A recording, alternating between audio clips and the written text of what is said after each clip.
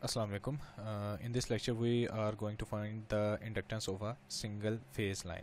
So there are two conductors in the single phase line and uh, uh, the conductor number 1 has a radius r1 and the conductor number 2 has radius r2 and the distance between the two conductors is d.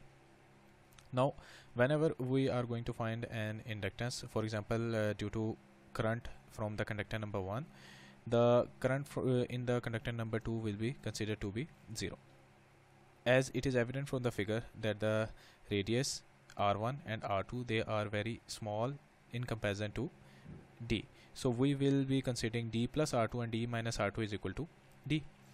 And uh, the magnetic field lines or magnetic flux lines that we are considering that will be uh, between the two conductors. So they will be starting from uh, the conductor r1 and they will be ending till conductor R2 for example this magnetic flux line will not be considered uh, in the inductance calculations. So uh, if we have to find the inductance due to current from conductor number 1 then there are two parts of the inductance. One is due to the internal flux and the other one is due to the external flux right? So uh, the formula for the internal flux one was 1 over 2 into 10 raised to minus 7 and for the external one is 2 into 10 raised to minus 7 ln d2 over d1 and these two distances are from point p2 and p1 respectively. So this is the total inductance in henry per meter per unit length. So it has uh, considering both internal and external flux impact on the inductance now if I have to uh, simplify this equation there are two parts. So if I will uh, take common 2 into 10 raised to minus 7 then I can write this one as 1 by 4 when I'm taking 2 common so this will become 1 by 4 and natural log with base e 1 by 4 is equal to 1 by 4 and inside this bracket these two terms will be multiplied because in nature if in logarithm if two values two values are being added then we can multiply them right? So d over r1 into e so the actual term will be d over r1 into epsilon 1 by 4 but I have taken this epsilon into the denominator so this is r1 epsilon minus 1 by 4 and the value of this epsilon minus 1 by 4 will be 0.7788 so if you will look at this particular equation this is the same formula for the inductance that was calculated for the external flux. So when we were finding the uh, inductance outside the conductor we got the formula that was 2 into 10 raised to minus 7 ln d2 over d1 so this is the same formula.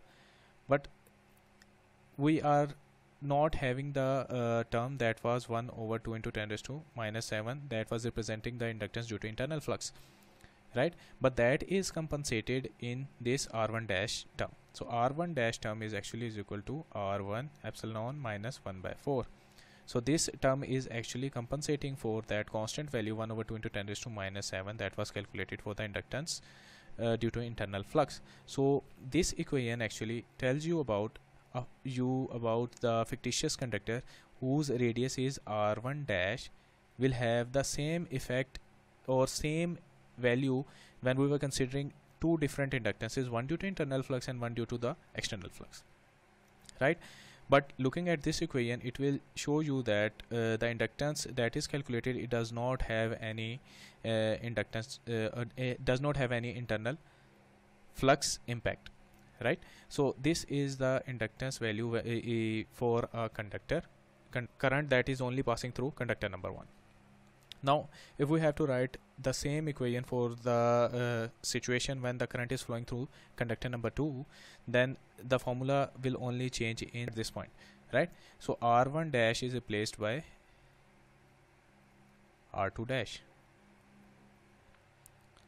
And this is the inductance when the current is flowing in conductor number 2 now if we have to find the uh, inductance for the whole circuit we will have to add both the inductances L1 and L2 so when we will add them L is equal to L1 plus L2 so L1 value is uh, into 10 raised to minus 7 ln d over r1 dash plus 2 into 10 raised to minus 7 ln d over r2 dash.